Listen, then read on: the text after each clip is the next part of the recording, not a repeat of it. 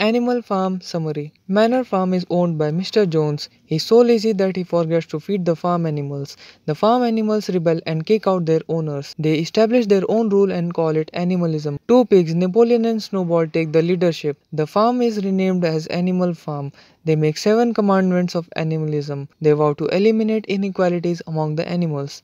But as time passes, Snowball is blamed for every mishap that happens in the farm and is kicked out of the farm. Napoleon becomes the dictator and starts changing the commandments for the convenience of pigs and other intelligent animals.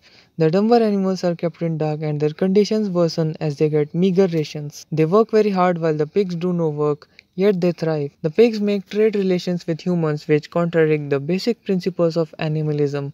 The animals were soon not able to distinguish between the pigs and the humans.